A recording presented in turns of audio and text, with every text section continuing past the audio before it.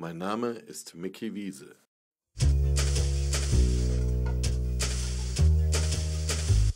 Und das sind meine ermutigenden Geschichten.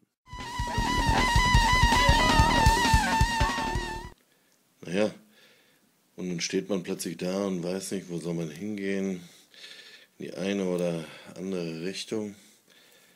Und dann braucht man Erkenntnis auf dem Weg nach innen, um irgendwie weiterzukommen. Hallo ihr Lieben, heute geht es wieder um einen Tipp, wenn du in einer besonderen Notlage bist oder wenn du irgendwo nicht weiterkommst in einer Lebenssituation, dann brauchst du Hilfsmittel, äh, sogenannte Ressourcen, die du aktivieren musst, damit äh, das Leben weiter fließt und du zu einer Lösung kommen kannst. Und äh, da ist es eine ganz gute Übung, wenn du dir persönlich ein Ressourcen-ABC anlegst.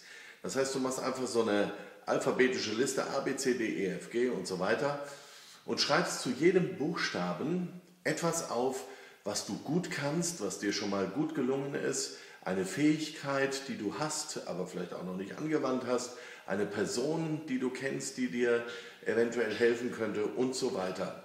Und äh, dann wirst du sehen, dass du plötzlich eine ganze Menge Ressourcen hast, die du alle zur Verfügung hast, um das Leben wieder zu verflüssigen, um, um diese Situation zu meistern.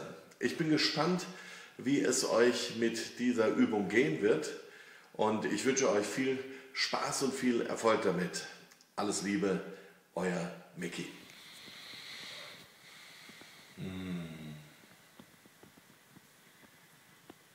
So sieht es aus, wenn man sich in einem ressourcenvollen Zustand befindet. Hm.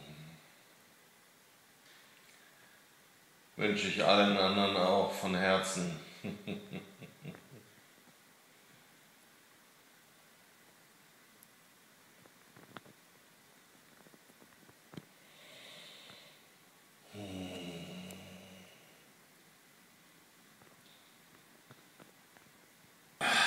Nachdem ich von meinem ressourcenvollen Zustand gerade wieder aufgewacht bin, sage ich Prost.